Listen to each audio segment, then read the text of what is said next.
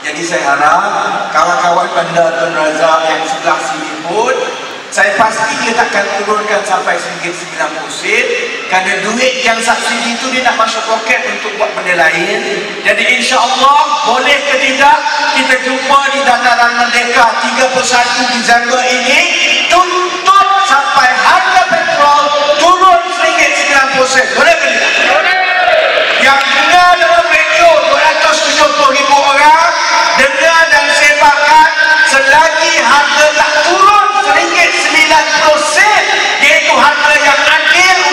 rakyat kita mesti turun dan tekan ada kalau harga minyak tak turun biar dia yang turun. Saudara-saudara baik. Saya ada 15 minit lagi itu soal harga minyak. Ada sebab kenapa Najib berkira sangat. Sebenarnya 30 sen satu liter ni sedikit. Cukup sedikit. Satu bulan kita rakyat biasa pakai berapa? Liter ni dalam 300 liter petrol. Itu pun kira average lah kurang 300 liter petrol 30 sen satu liter sebenarnya untuk satu keluarga subsidi yang kita tuntut ini hanyalah RM90 satu keluarga satu bulan. Tak banyak sekali-sekali tak banyak kalau nak banding dengan segala pembaziran. dah tapi itu masalah UMNO Barisan Nasional masalah Datuk Seri Najib oleh kerana pembaziran dia itu terlalu besar sehingga kan 30 sen satu liter 90 ringgit satu keluarga satu bulan ini pun nak berkira saudara. Saudara-saudari pernah dengar sudah tentu soal satu 1 MDB ha.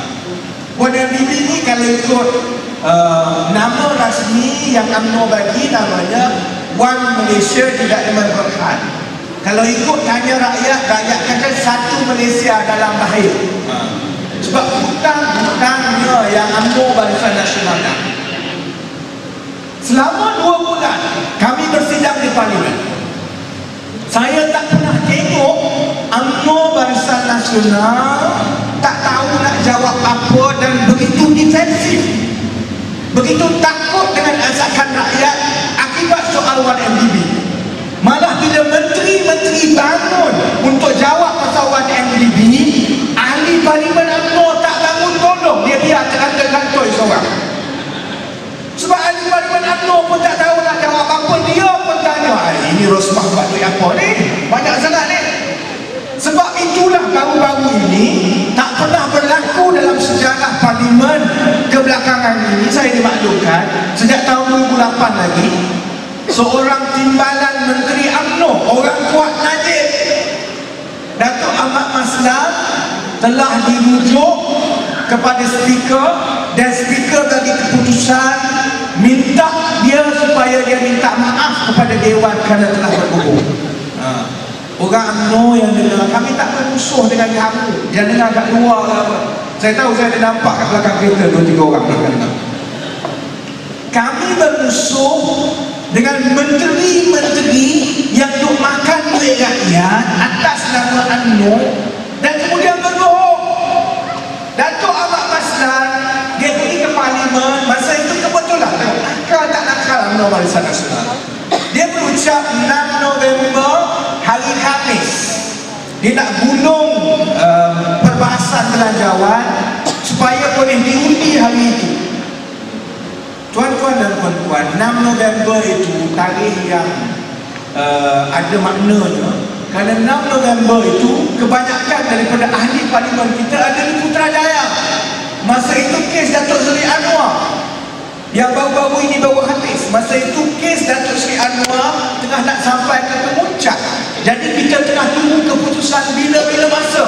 Sepatutnya pada hari itu keputusan dikeluarkan, maka sebahagian besar daripada ahli parlimen Pakatan Rakyat ada di Mahkamah Putrajaya. Masa itulah dia nak bagi hujah nak tolong sebab dia takut kalau kita ada dia tak boleh jawab. Tapi dia lupa setiap yang dia kata itu masuk dalam pernyataan rasmi. Dia ingat kita tak cerdik, tak reti membaca. Enam hari bulan memang kita tak ada dalam parlimen. Lepas itu kita boleh dapatkan pernyataan rasmi balik apa yang dia cakap.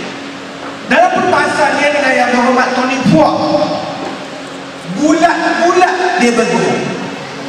Waktu Tony Puak tanya betul ke tidak masa 1MDB ini ambil hutang 10 bilion ringgit Malaysia kerajaan Malaysia ada keluarkan surat untuk bagi pengakuan? Kalau 1MDB tak boleh bayar kerajaan Malaysia akan bayar amat masalah dengan confident. Jawab tidak ada. Surat tak ada surat apa-apa. Dah itu tak cukup. Dia bagi ucapan dia sambung lagi. Ha, itu yang pasal surat sokongan itu surat itu tidak ada. Tidak wujud surat itu. Hari berikutnya kita keluarkan surat perjanjian setebal 140 muka surat. Dalam surat perjanjian itu ada surat sokongan dan juga ada terma-terma jelas di antara 1MDB yang mengeluarkan, menerbitkan hutang dengan orang yang bagi hutang yang mana surat sokongan itu memberi jaminan kepada orang yang beli hutang 1MDB ini. Kalau 1MDB tak boleh bayar maka kerajaan Malaysia akan bayar. Kalau kerajaan Malaysia tak nak bayar maka pemegang-pemegang hutang 1MDB ini ada kuasa untuk menyaman kerajaan Malaysia dekat mahkamah di United Kingdom dan apabila saman itu difailkan di mahkamah di United Kingdom kerajaan Malaysia tidak ada pilihan lain kecuali kena ikut kepada keputusan mahkamah United Kingdom. Ini saya nak cerita, saya nak bunyi kasar sikit.